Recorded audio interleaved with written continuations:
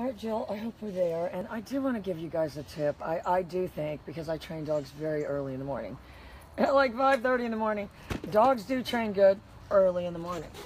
You know, if you're honestly waiting till noon or something, they just don't train as good. You know, and not that you never want to train them at that time, but if you said, well, I want everything to go as good as possible, then of course you're going to say to yourself, you know, I want to find the best time that this dog trains, learns, whatever you call it. So he's already platform conditioned. And I'm just going to show you guys how I'm making the leap, you know, from... Ah! If you said, what was that, uh, Jill? Uh, hello, Miriam. That was him jumping on the... Uh, oh, look at him go. I'm going to tell you, he's going to have a default of coming back. Wait and see. But, you know, the way you're doing it is you're... Yeah, here he comes, just like I said. Yay! Yay! And I am going to reward that. Okay, so job one, you're going to get the collar on. You know, this is the messy part. As Chelsea said, these people claim that uh, don't edit out the messy part. It's all messy. So he's got a lot of movement, but I've got my stronger pager. And I know I've got a dog that I can get on that platform without saying anything. So all I have to, you know, I'm not saying to myself, he's not looking at me, he's watching everything I do.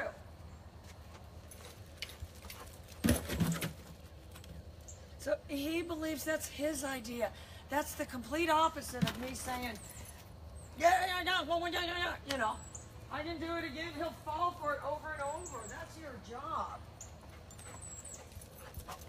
They, they fall for the fakey arm movement.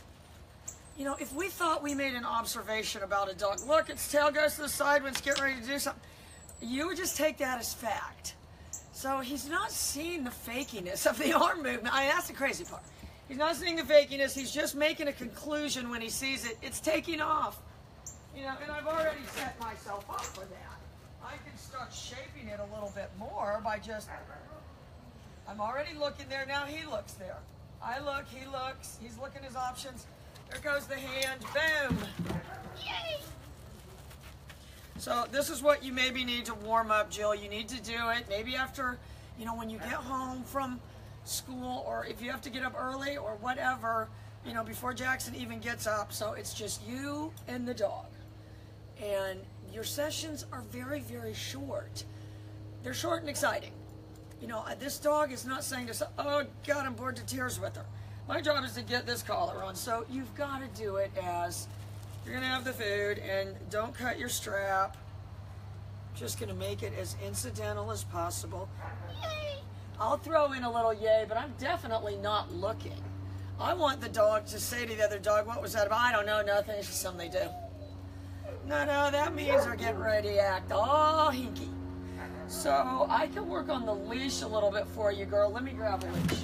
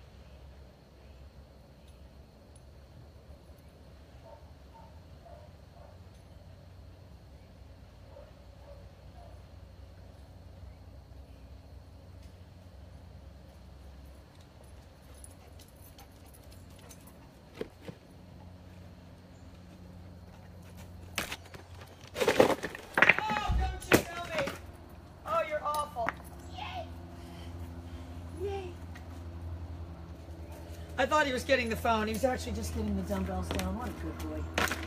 All right, that's my fault. And you can't have them around. You've got to kind of put them up. They need to be in a cabinet somewhere. Don't be like me. I hope you're there, Joe. Let me know if you're there. Anyway, I do have my leash. And I've already got a dog I've got moving around a little bit. I knew to put the brakes on. I saw where he was headed. So I want to get my leash on there. And I don't want to get in situations where I'll set off training around the neighborhood. Oy, oy, oy. Again, people want to go training around their neighborhood at 6 o'clock at night with their family and the kids pulling a wagon and the mom's pushing a stroller and, you know, and then every neighbor dog is barking and then they wonder why they can't get them trained. Right, so I'm getting the leash on as surgically as possible. And I don't want it to be, and that's the only leash I could find. It's not very good. But I want the dog to understand, you know, if I said the pagers, oh my God, I'm gonna have to go put a bark collar on that awful dog. Uh, there is such a thing, it's just an awful dog. Um, you know, the pager is a soft demarcation line. This is much more defined. So we have the same expectation. If it hits the end, we want it coming back in our direction. So, you know, I don't want, I'm not going to be able to, if you said, well, you should start out doing a punch corrections, then you should go to your trained retrieve, I'd say, oh, no, that won't work. Because then they don't want to do it. So I just want him to see, here's the leash, and it's just the same behavior. I'm on zero, and I think he's got the little, that was sleight of hand. He's going to see my hand opening up. Listen.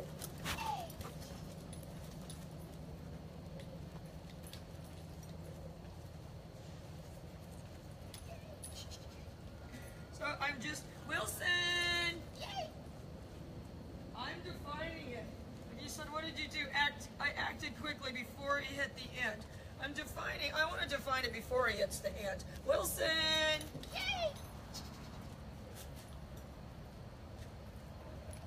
So this is maybe a little, Wilson! I'm always saying, and I think this is the important part. I'm saying move move in my direction, but in the beginning, I'm saying it from as far away as possible. Wilson!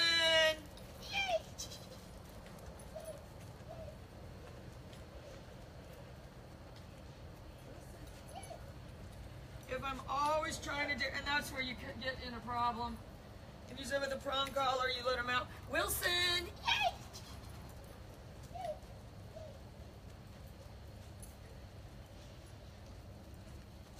So he's not getting corrected for trying to go over there. I'm just using that. So there's my technical time. I'm holding the pager down the whole time for watch. Pager, boom. I, I had to have trained him on this before, surely. Surely he's not that good. All right, watch. Wilson.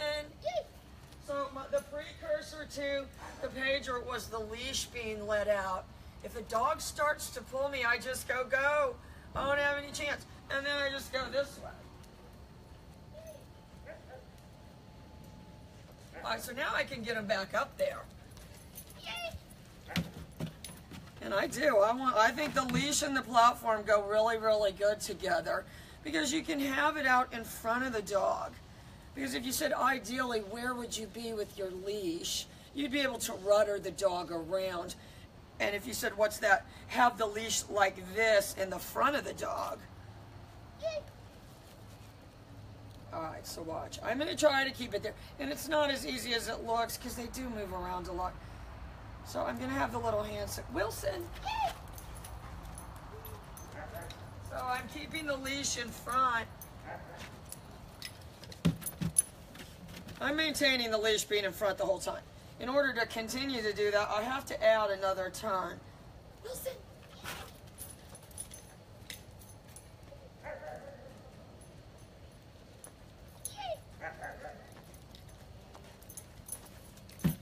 But I'm only going to do the turn away for right now, girl. You can add the turn towards yourself. So it, it, this is the most important thing, too. And if you said, what is it? It's a subtask of heel. The subtask being, I don't want the leash made tight. So if the leash can't be made tight, then we're only operating within this boundary without making the leash tight. It's not that hard. All right, watch. Wilson. There's my turn. So watch. I'm right there. So he's right beside me, and I'm not trying to go fast. Ryan, if you're there, this is where you get in trouble. You're trying to go real fast and then kind of cut the dog off and stuff. And he's like, that's not what I did. All right, but watch. I'm doing it slow in the beginning. Step, step, step, step, step, step, step. Pause, step, step. Dog in training. And I'm, I'm using the I'm using the pager to get him back up there too. So, you know, nothing I've done has killed off anything that I can't do my retrieve now. And sometimes you might want to just come out and do it as a separate thing, but I'm oh, I'm squeezing everything into one episode for Jill. Jill's the number one. Jill's our number one. Hi, Shy. Uh, Jill's my number one protege. Uh, you need to try to be like her, Shy. I was going to give up on everyone and everything until Jill was able to get the dog fetching in one day. You need to be doing this too, Shy. If you said, I can't get dogs to fetch, I'd say that's awful because this girl, Jill, she, she could do it in one day. All right, so I'm going to just move my wagon.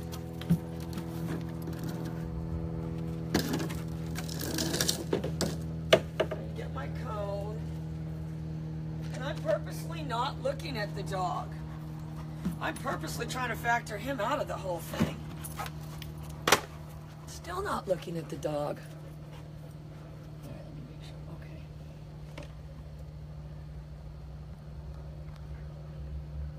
All right, so I've got my dumbbells. And Jerry, if you're there, this is the difference. I'm not throwing anything in the beginning. I'm just dumping the dumbbells out. So it's all, yay! It's all implied. Even when I take that one, I'm still already so interested in those other ones. Oh, yay! Yay! Yay! Yay! Yo, yay! Okay, yay, yay. Oh, that was a little bit weak. Oh, he's only getting a C minus on that one, Jill. Yay! Oh, A plus, A plus. Yay! You know, it's got to be believable. I want him to look at me and think, what? You know, what is this thing looking at? It's only going to benefit you for this dog to Yay! understand you better. Oh, he's just like a little dog genius, girl. So, you know, if you said, how is that factoring the pager in? One, you've made the pager occur all around by the platform, off the platform, back onto the platform. These ones that I have that have a trained retrieve, I'm sending them off the platform with the pager. You know, the pager is already there. You're you're just kind of adding the dumbbell in. You're not trying to add, you know, like nine things at one time. You're just the pager is already there. You can already get them to to come and go with the pager. So then you're just adding the dumbbell in there. So oh, we can work on his default a little bit. See if we can get him sitting. So with that, you have to be ready. There's no. I know it seems strange, but there's really no. You're really just not saying anything. If you try to start telling him to do something, you really risk failure. So you could work it from here with one like this just by giving him the treat there. You see what I'm saying, Jill? I'm not luring him down. That's just. He looked at her, he looked at me, but then I looked away. And there are times you need to be, oh yeah, no, I want him to go. I'll pretend like I'm talking on my phone. Uh huh. Yeah. Mm hmm. Yes, Jill, Wilson's fine. Uh huh. Yes, no, I've been giving him 10 hugs a day. Uh huh. Yeah, well, I gotta go. I gotta go give him some more hugs. Jill's like, what? but you see, he did default to sitting down. If you think the dog knows any difference between doing that, doing this, or doing that with the real, oh,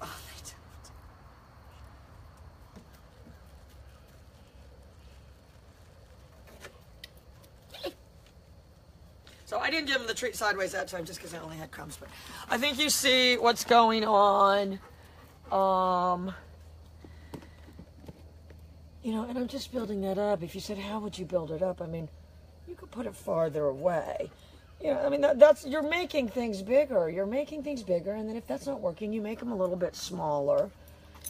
You know, so they're more successful. And you have to think of, you know, what's age appropriate. So, you said, what was that? That was some kind of default. So he's already got that behavior is there, Jill. What you've got to say is, you know, I have to factor myself in. Okay, watch this. Wilson!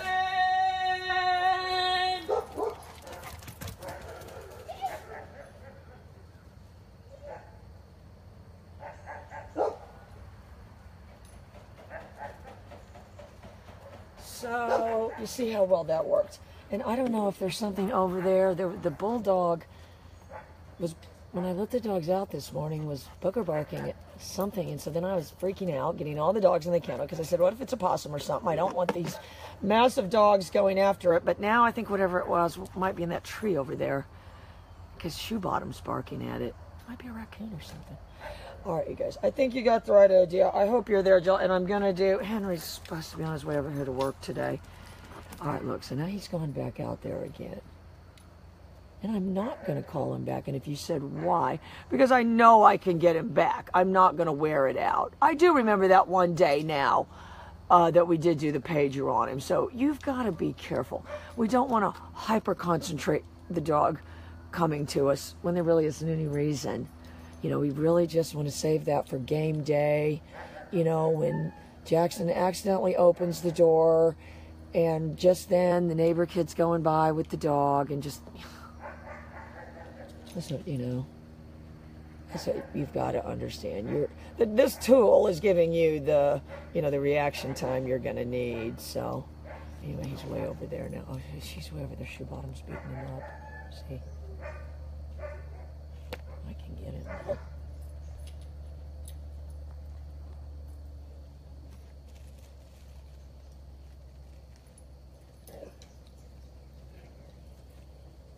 Wilson! Wilson!